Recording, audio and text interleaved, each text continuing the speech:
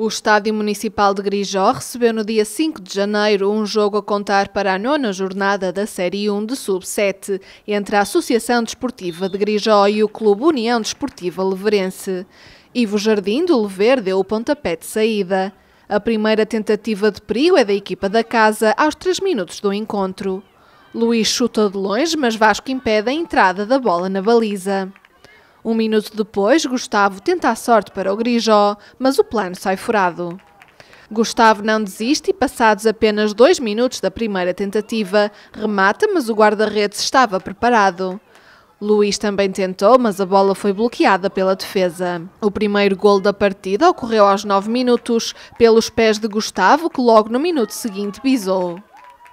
O Grijó tomou-lhe o gosto e três minutos depois tenta fazer o terceiro, mas Vasco defendeu.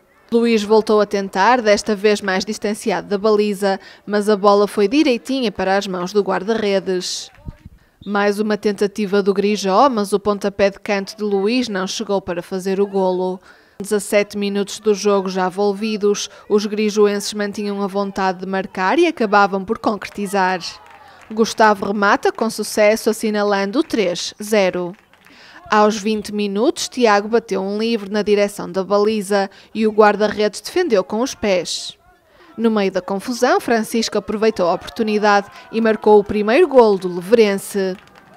O 3-1, ao intervalo, refletia a superioridade da equipa da casa. Um minuto depois do regresso dos balneários, Martim remata e marca o quarto golo para o Grijó. A equipa da casa não desistia de aumentar a vantagem no marcador, mas Gustavo chutou para as mãos do guarda-redes. Depois foi a vez de Luís tentar.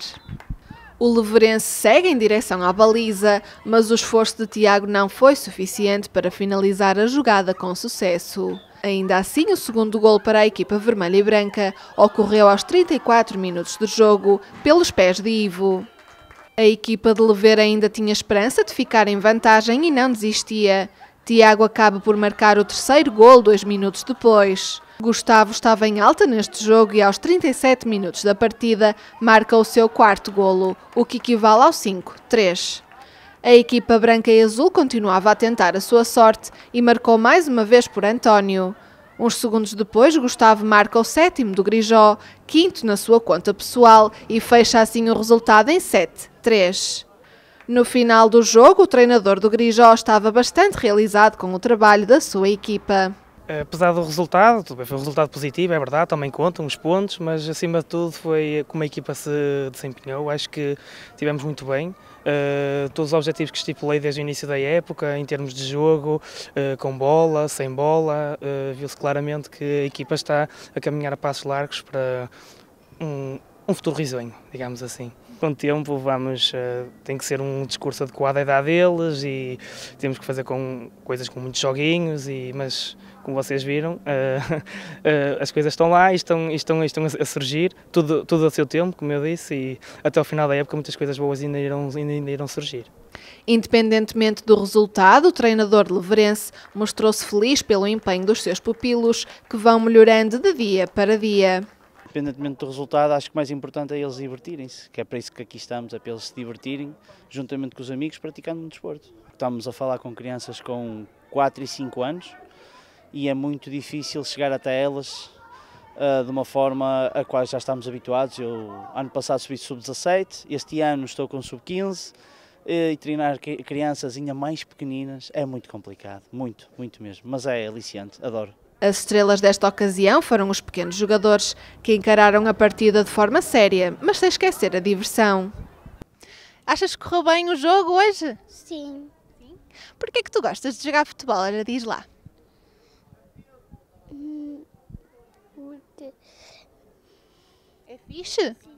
É? E tu tinhas alguém já na família que jogava futebol? Sim. Sim, quem? O meu avô. O teu avô, muito bem. Olha, e tu gostas de jogar futebol? Um, gosto. Porquê?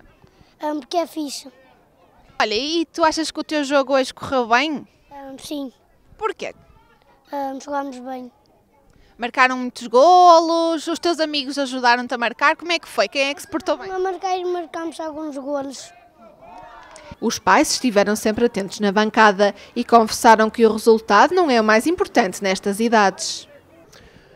Dentro daquilo do tempo que eles têm de, de aprendizagem de futebol e acima de tudo, acho que correu, correu bem e estou uh, satisfatório com aquilo que o, jogo, que o jogo foi, acabou por ser. Acima de tudo, além do resultado, o desporto em si, o promover.